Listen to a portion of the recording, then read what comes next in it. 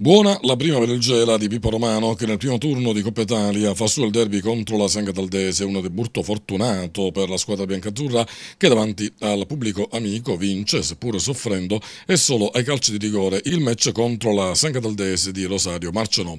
Una vittoria diciamo sofferta per Campanare e compagni che nonostante un avvio di gara di certo non entusiasmante sono riusciti nell'impresa di ribaltare le sorti del match portando i rivali sino ai tiri dal dischetto che come da regolamento di Coppa Coppa si sono giocati al termine dei tempi regolamentari finiti in parità per 2 a 2.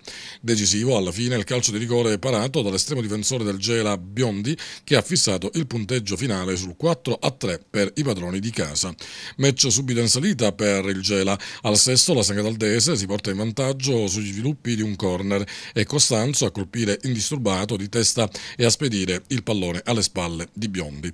Trascorrono appena due minuti ed arriva immediata la reazione del Gela che pareggia i conti con Gallon, il quale lascia partire una diagonale che si insacca all'angolino della porta difesa da Serenari.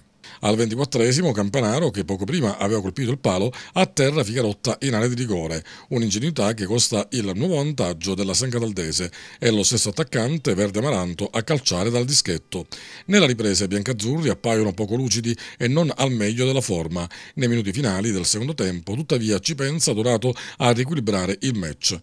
In seguito al palo colpito da Bonanno, l'attaccante argentino su ribattuta punisce l'estremo difensore Verde Amaranto. Si va ai calci di rigore. Dal dischetto hanno la meglio i biancazzurri che mettono a segno 4 gol contro i 3 degli avversari. In settimana si conoscerà l'avversaria del Gela al prossimo turno di Coppa Italia. Intanto, domenica prossima comincia il campionato. Il Gela ospiterà al Vincenzo Presti il Roccella.